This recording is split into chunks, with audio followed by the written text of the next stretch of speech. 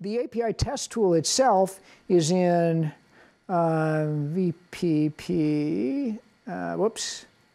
Hey, oh, uh, I did it again. I test API. Um, here's the test tool's main routine. Um, this is of this this uh, program is of interest as an example of how to hook up to the data plane and send it uh, binary API messages. There's a library call that says connect. Um, 32 is the is the uh, is the inbound uh, queue length.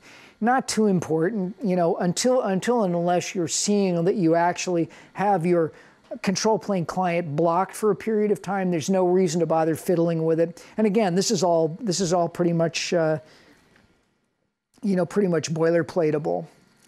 Uh, for, okay, yeah. And here's an example of format where you say, I've, I've made myself a hash table. Um, I want to go say, okay, go find me the error string and go print it. Um, main routine we'll probably look at very briefly because again, most people aren't going to need to fool with this thing. Oh yeah, this tool also exists to make uh, uh, a JSON version of itself so that you can send JSON, uh, you know, JSON encapsulated uh, API uh, messages, particularly for testing. Dave, Dave Wallace will get into this and he'll probably do a better uh, version of explaining it than I am.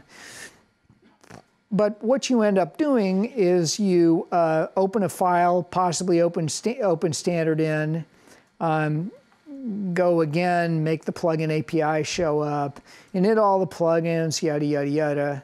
And then um, do one file effectively is going to uh, sit in a loop. You know, sit, you know, sit in a nice one, while one loop I, I, you know, I like set jump, long jump, so I'll sit here in a while one loop, uh, printing out, uh, printing out prompts. As you probably saw, the API test tool has a, has an exec mode. Did I show people that or not? Maybe I didn't. At any rate, if in the API test tool you type exec, uh, you can sit and then just type debug CLI commands, as opposed to typing API commands prefaced by the word um, exec. Um, and what this guy's going to do, oh yeah, the API test tool itself has a macro, you know, has a macro expander. typical thing you can do for testing is to say, okay, I have an API trace from my test bed that exercises a feature the way the real control, plane does. I'll make a script out of it, and I'll say, oh yeah, well, every test bed's a little different. Let me go say, okay, this is the first interface IP address I, I, go turn those into macros. I make a little file that describes the test bed, and then I, uh, I include it in you know, the body of a test. So you've just made uh, the test that you've, uh, you know, that you've scripted be uh, you know, more platform independent. Mr. Wallace will give you more on this, but at any rate, the, the 100,000 foot take, you know, take, you know, the takeout menu item here is that the API test tool has macro evaluator. It's recursive too, so that you can do as much as you like. I mean, obviously, uh, it's not real smart about uh, recursive macro definitions. Like if, uh, how would you put it? it? It's not M4. It's not the full the full Megillah, but it's way enough to be useful if you feel like playing with it. And it does some parsing, yada yada yada. Uh, goes and sees if the function, uh, you know, if the um, uh, the function you told it to call is actually known to it, and in which case it'll go off and you know go off and actually get there. The API test tool um, uh, is mostly this file API format.c, which is the epic catalog of pretty much everything it knows how to do. Let's see, um, interface address. Okay, uh, you need to look through, uh, uh, what am I typing wrong? Oh. Adel address. Let's go look at the actual guts of it. So here's the guy where you're saying I want to I want to add, delete, or delete all of the addresses on a particular interface. You know, a bunch of unformats to go get the details, um, a bunch of sanity checking, constructing the API message, throwing it off, you know, throwing it over the fence and waiting for good or bad news almost all of these can be, uh, one, you know, once you're, you know, once you're in the rhythm of building these, you can build up uh, a binary API. Uh, you know, you can build up debug CLI binary API in the data plane, and a custom dumper in the data plane, and this stuff.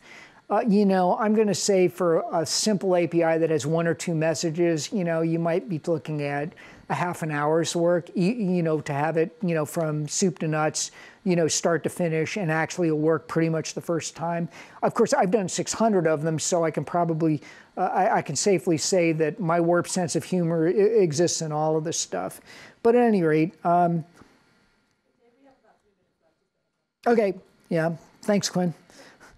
Um, so this is the, the, the, API test tool, you know, uh, mainline.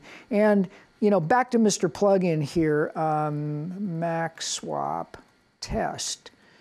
C. Back to Mr. Plugin. Again, there's a certain regularity to it where you're hooking up the API. It's a, oh yeah, by the way, the API message handling um, is done in a library that we may get to look at, but probably won't later in the day. And both the client, both the client and the uh, you know quotation finger server for that stuff uses exactly the same code.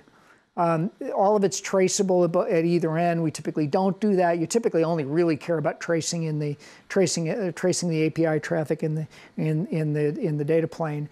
Um, surprise, surprise, surprise. As I said, there was a plugin register guy uh, on the data plane side. Well, here's the control plane side that basically says, uh, please, you know, please, Mr. Uh, uh you know, Mr. API, uh, go get me, you know, go get me the first plug-in message ID so that my brain and your brain are in sync. In other words, data plane, you know, the data plane will end up inherently starting first because nobody will talk to a control plane client until the data plane's going.